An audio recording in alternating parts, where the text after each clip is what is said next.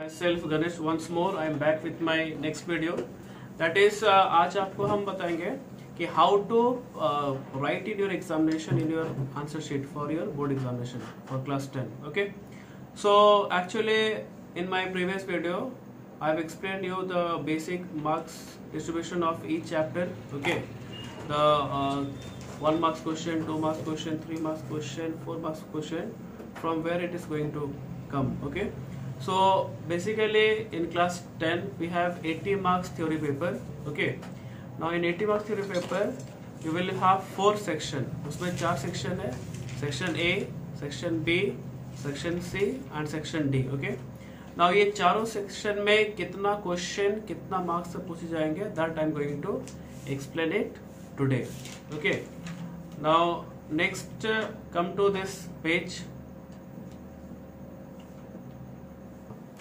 Now, in class 10 board examination, for mathematics subject, okay, you will be having total question 30 question है, ठीक है? Total आपका 30 30 question है त्रे पर ओके और जैसे कि आपको जस्ट नाउ अभी बताए कि there will be four section that is section A section B section C and section D okay so in section A there will be six question of one marks each so section A में छह question एक marks का पूछे जाएँगे that is very short answers आपको देना है, ठीक है? वो आपका सिक्स मार्क्स नेक्स्ट सेक्शन में सेक्शन बी में भी six question in section B also there will be six question but marks उसमें टू मार्क्स का होगा. तो सिक्स क्वेश्चन टू मार्क्स का ट्वेल्व मार्क्स हो गया सेक्शन बी से.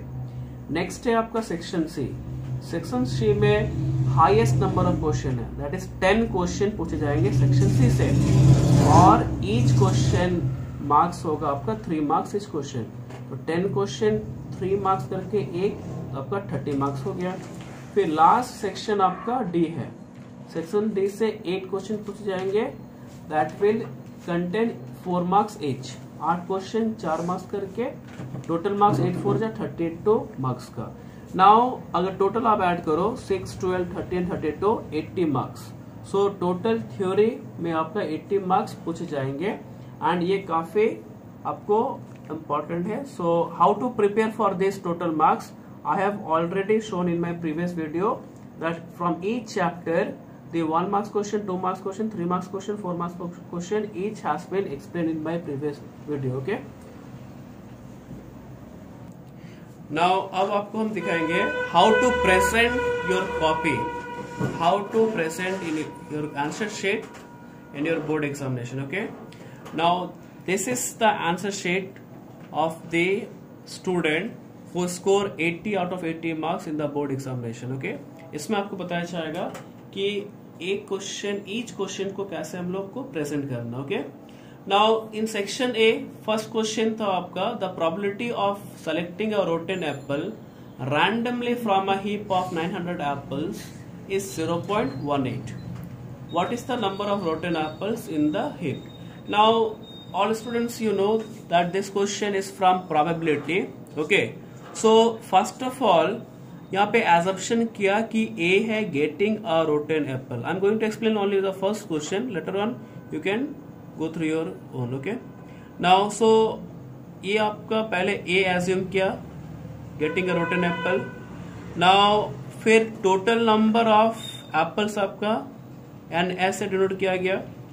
900 टोटल एप्पल्स फिर आपका प्रॉबिलिटी आपका ए है 0.18 फिर एज फिर एज्यूम किया? Let N A be the number of rotten apples फिर प्रोबेबिलिटी का फॉर्मूला इन्होंने अप्लाई किया।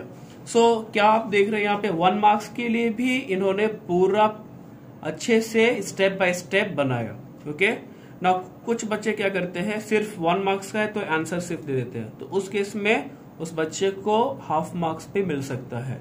So it depends completely according to examiner okay now next question आप देख रहे हो।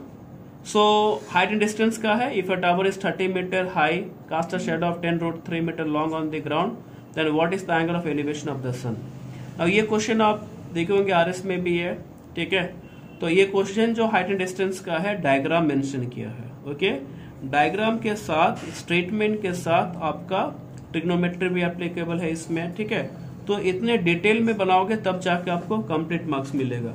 और जितने भी रफ वर्क है, आप right side of the copy में आप मार्जिन लेना, उस मार्जिन में जितना भी रफ वर्क है इस साइड में बना सकते हो, ठीक है? Likewise we have plenty of question which I am having here for your example ठीक है? देखिए आप कॉपी का प्रेजेंटेशन डायग्राम ठीक है सॉल्यूशन तब जाके फुल मार्क्स मिलता है। अब यहाँ इसमें भी देख सकते हैं कोऑर्डिनेट ज्योमेट्री का क्वेश्चंस है इसमें ठीक है? तो काफ़ी डायग्राम के साथ इन्होंने प्रेजेंट किया है।